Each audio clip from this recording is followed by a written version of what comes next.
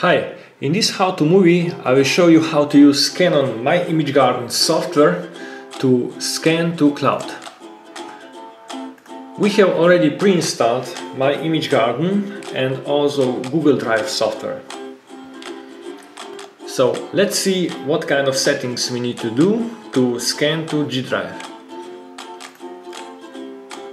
Select Canon Quick menu and in the scan menu select scan settings icon.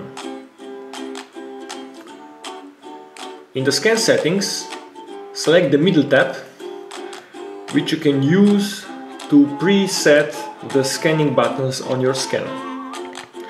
So here's our scanner and these are the buttons which you can preset with my Image Garden software.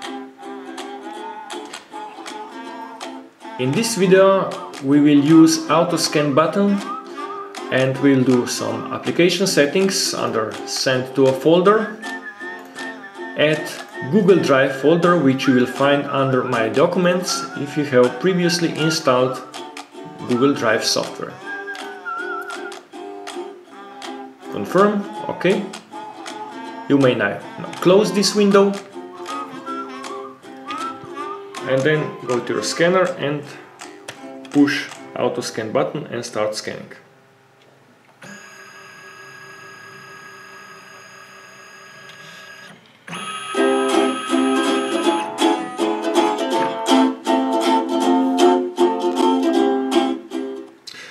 Now our document is already in our Google Drive folder and is being synchronized. We need to wait a couple of moments for synchronization.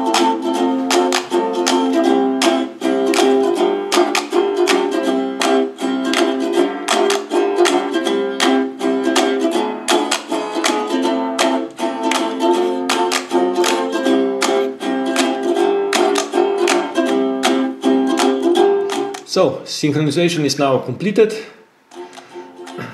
and now we can go to our smartphone or tablet device, run Google Drive application and see our document there. So let's go to our tablet, select Google Drive application and you will find your document here.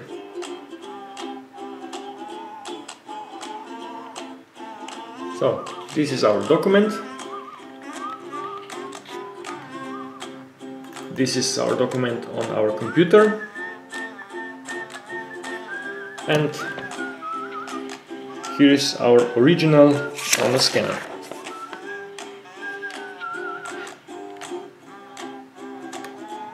So that's all. Very simple and you can use now your document and access to it from anywhere.